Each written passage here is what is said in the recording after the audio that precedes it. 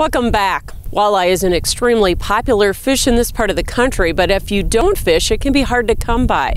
Now, a Minnesota based company could be the first to bring sustainably raised walleye to the market.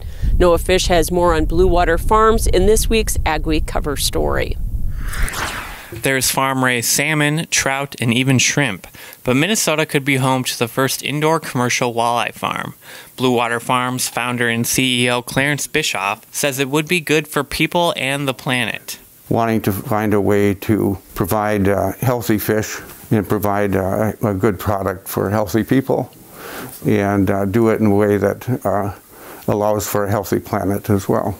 Blue Water Farms plans to operate a walleye hatchery and processing facilities in southeast Minnesota, using recirculating water technology to produce the walleye.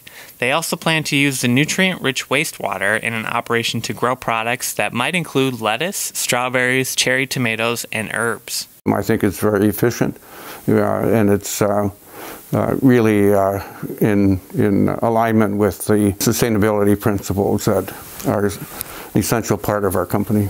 Bischoff and Blue Water Vice President Jessica Coburn says it's the right business model at the right time. Exciting, but because aquaculture is fairly new in the U.S., there's a lot of questions still remaining around it. Bischoff has put together a team of scientists, engineers, and advisors to build an efficient and sustainable operation, but they will need a lot of help from investors to make the plan a reality. I think walleye is a great fish to bring to market. We think a lot about salmon and some of our other popular food fish and, and give walleye another look. We're going to be bringing them to you in a more sustainable way.